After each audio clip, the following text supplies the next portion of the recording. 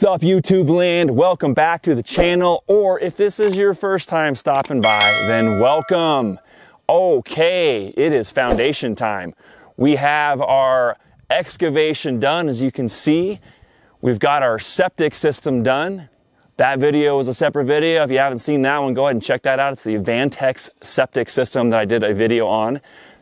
One of these sides will get you there. So our well is in as our well is in as well. I keep doing that. Our water line's in. We're down into the foundation. Excavation, as I said, has been finished, and now it is time to form up some footings today. So, waiting on the forms to show up, waiting on the rebar to show up, and it's a very, I would say, structurally sound foundation. Um, I went back and forth with the engineer on this one. He wanted to design it this way. It's, in my opinion, over engineered but there's nothing wrong with that except for it costs more. Um, so we're gonna go ahead and get started. I'm gonna show you what we're looking at. I'm gonna walk you guys through the, um, the plans themselves, show you what we're doing for our footing, for our walls, and for our piers in between, basically to hold the seam of the two containers on the first floor that are being cut out almost completely, and how that structurally is going to be put together. So without further ado, let's get these forms going. Amigo, ready. No way to turn around in there, right? Not right now. I would back it in, yeah. Can you get down the road a little further and spin it in? Yeah. There's a way to turn around somewhere. I think that drive, well, no, I think he can I think he's got enough room to go this way. just go all the way to the other side because it's a sharp turn. Okay. So you can go back and forth a couple times. Right? You feel confident? Right. Right. I do this for That's last famous last words, brother. I do this for a living. I really live right here, right now. Oh yeah. Yeah, it's it gets worse as you the further you go down this road.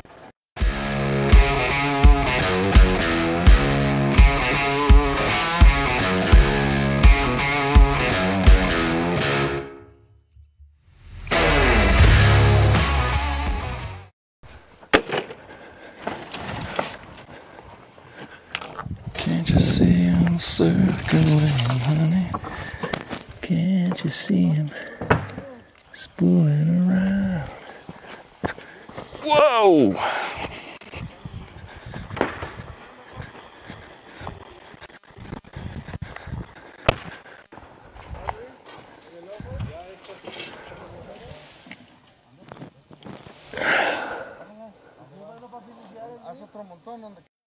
All right. So the most important part of starting to form a foundation is triple checking your environment, i.e., the excavation area. And as I'm doing here, I'm triple checking what the excavator has done since the last time I was on site to make sure that we have enough room to actually build our foundation.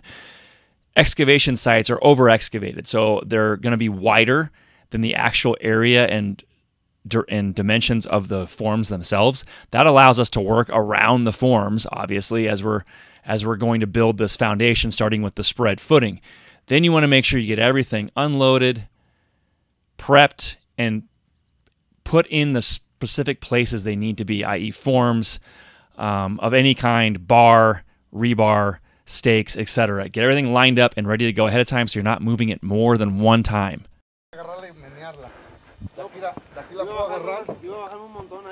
No, pero para no cargarlas, ahí bájala, bájala. Está más fácil ahí arriba, arriba. Está más fácil agarrarla de aquí que levantarla de abajo. mira.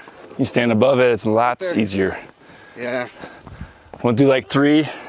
I'm just gonna spread it all the way around. Si, senor. Oh, I'm gonna put my gloves.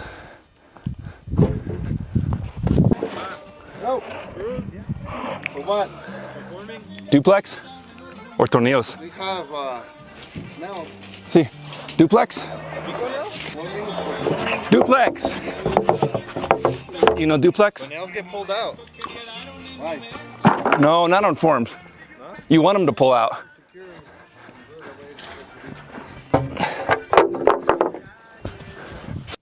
All right, so what we're doing here is we're organizing material based on where everything's going to go. It just, again, makes it easier to get all the layout done ahead of time so it can be really, really, really efficient and much, much quicker when you start forming everything up.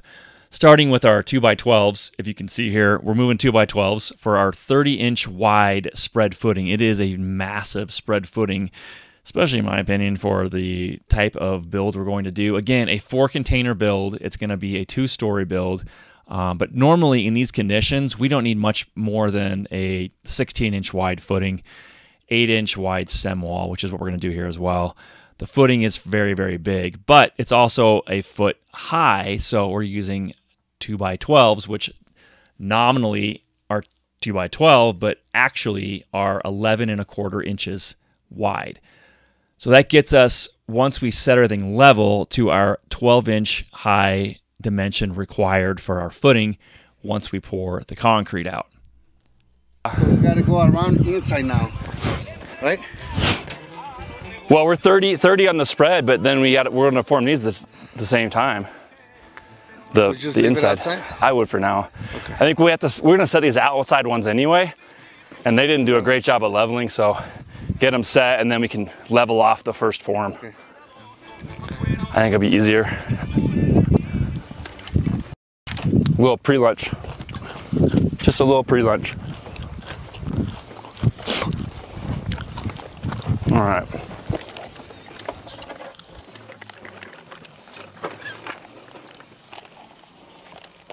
Go. There's 31 right there. Okay, so we're good from there on? We're good from there on. Yep. Okay, so how does this look? It kind of looks like 32. it's It's turning in that way, so we actually get we gain some of this way. So I think this is the better corner anyway to start. exactly. Yep. And also. Let's set a metal one, and I got, I got string in my bag. What? State measure. Tape. I got. I'm holding one, homie. Hold on.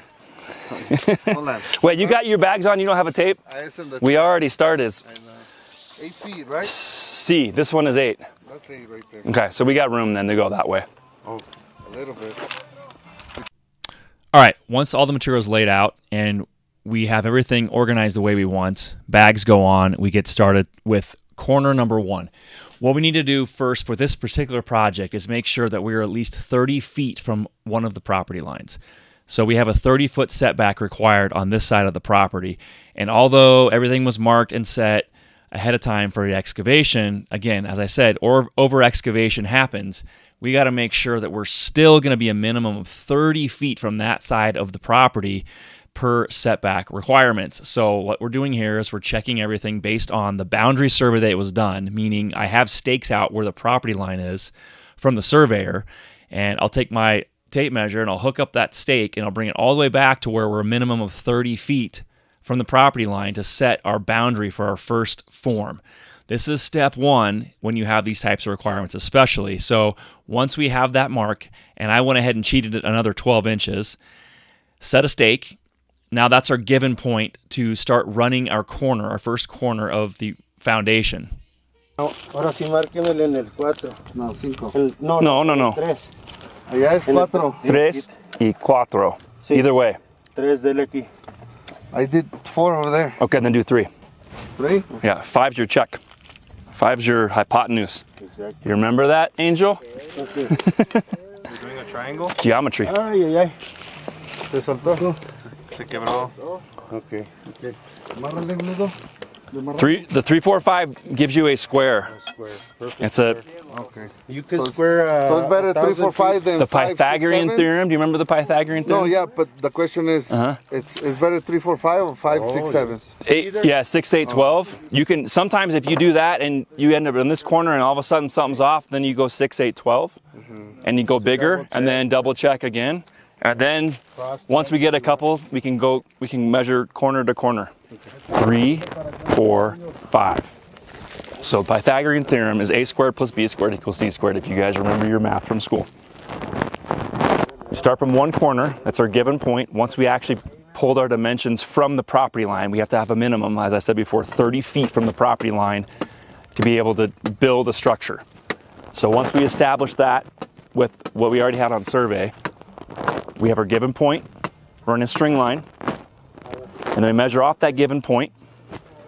We measure three feet, and then off the other side of the given point, four feet, and then you pull from corner to corner on your inside of your tape measure, and our our our right angle will be a 90 degrees if it lines up at five feet from those two marks. If it doesn't, we're not square yet.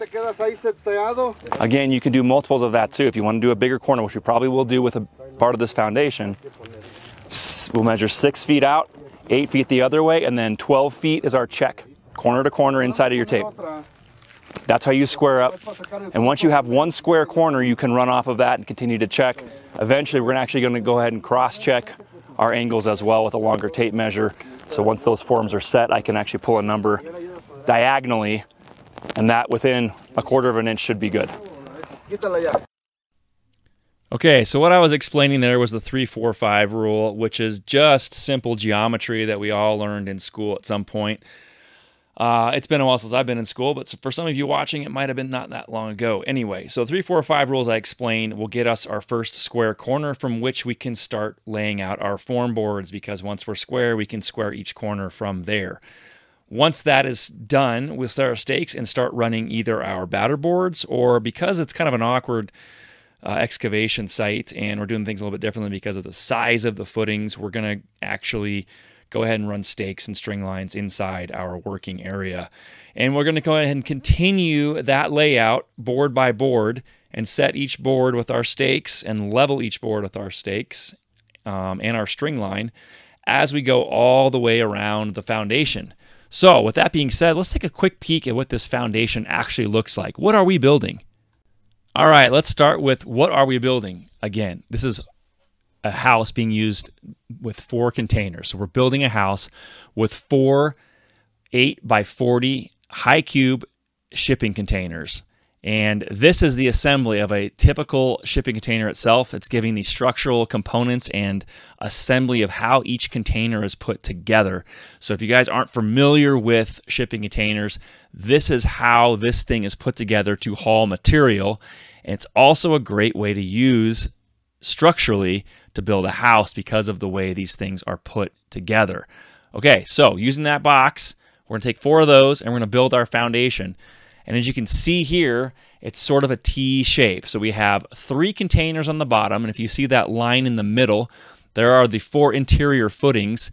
That line represents two containers, one right next to another, with both of those walls where the line is removed. So we have to use some sort of structure to help with deflection and contain what we have removed from the container itself. Those four footings interiorly are going to have posts. They're going to pick up the bottom of each of those containers. The third container is turned vertically from those two, and then the fourth container is going to go directly on top of that last container sitting vertically to the other two. So that is how our foundation is going to shape up. Literally, Ha ha. Ha Ha And round and round we go. Set stake, square it up, set string line, level it, set the form, stake it, level the form, double check, and keep moving until we have all the outside forms finished for our footing. Then we come back and we'll run the interior ones because it's a lot easier to double check those dimensions once the outside form is set.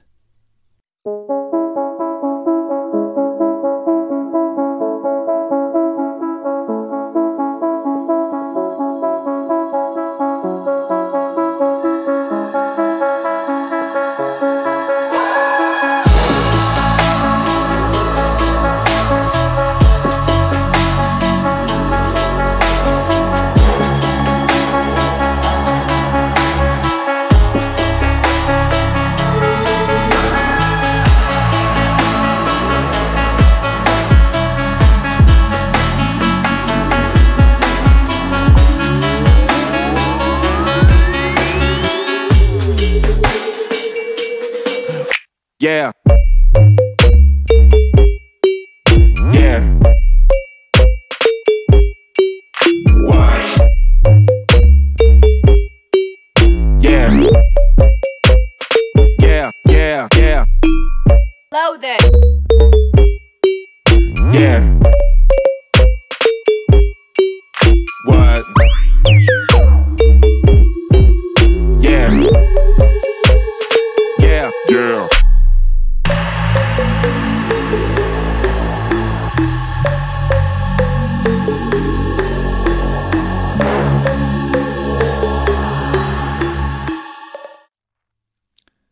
Right, that's a wrap on part one of how to build a foundation. Stay tuned for part two coming very, very soon. Make sure you guys like the video if you enjoyed the content and subscribe if you have not, making sure you can follow along with not only this project, but all of the videos that are coming out on how to build. Until next time, guys, build safe, build smart, and keep building.